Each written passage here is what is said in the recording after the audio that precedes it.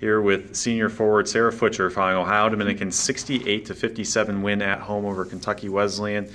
Sarah, you guys really locked down on the defensive end. You held Kentucky Wesleyan to just about 30% shooting uh, in this game. Gave up some threes there in the in the second quarter, um, but really from about the middle of the second quarter through the end of the game, you guys really locked down defensively. What was the key uh, to to your success on that end of the floor? Uh, I think it was just sticking with, with what we know. Um, coach is always telling us high hands, communication, and I mean if a team's shooting 85% from the three, uh, they're going to get up on us. But if we stick to what we know and continue to do our principles.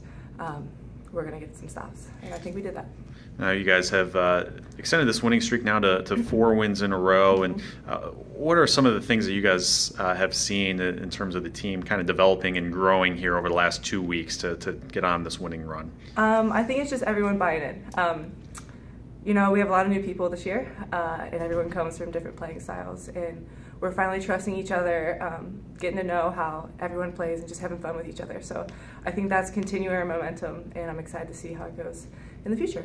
For you personally, your uh, first career double double uh, coming here tonight, uh, coming off of uh, being named the GMAC Player of the Week uh, earlier this week. And for you, how have you seen your game kind of grow and as you've stepped up, being one of the senior leaders on the team this year?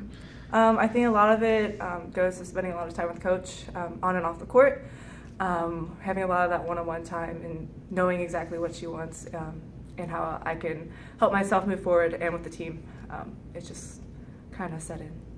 Sarah, congratulations on the win. Good luck on Saturday. Thank you very much.